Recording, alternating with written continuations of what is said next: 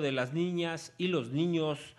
este eh, evento 2017 en San Lázaro. Los detalles los tiene Diego Rivero. El presidente de la Comisión de Derechos de la Niñez, diputado Jesús Valencia Guzmán, anunció que el próximo lunes 13 de febrero iniciará el décimo Parlamento de las Niñas y los Niños de México 2017, en el que participarán 300 menores, quienes serán denominados legisladores infantiles y quienes podrán expresarle a los diputados federales en funciones lo que sienten y piensan para tener un México futuro con este parlamento que será inaugurado en el Salón de Sesiones de San Lázaro, se busca que los infantes participen en las decisiones que toma esta Cámara, convirtiendo algunas de sus propuestas en iniciativas de ley, ya sean constitucionales u otras leyes. Valencia Guzmán destacó que el Parlamento es un evento organizado por adultos, pero donde niñas y niños son los protagonistas principales, contribuye a respetar su participación en la determinación de su interés superior resaltó que en la vida política del país lo que se necesita es que los adultos escuchen lo que piensan los niños y niñas de las distintas comunidades del país. El legislador perredista indicó que este evento que concluirá el próximo viernes 17 constituye un espacio para que este sector de la población ejerza plenamente su derecho a la participación contenido en la Ley General de los Derechos de Niños, Niñas y Adolescentes. La idea, precisó, es que con sus opiniones y propuestas las niñas y los niños actúen como agentes de cambio, proyectando la construcción de una armónica convivencia ciudadana, fortaleciendo la transparencia y ampliando la difusión de principios y valores universales. Además de la Cámara de Diputados, los menores participantes asistirán y recorrerán las instalaciones del Instituto Nacional Electoral, la Secretaría de Educación Pública, el Centro Interactivo Futura CDMX y la Residencia Oficial de los Pinos.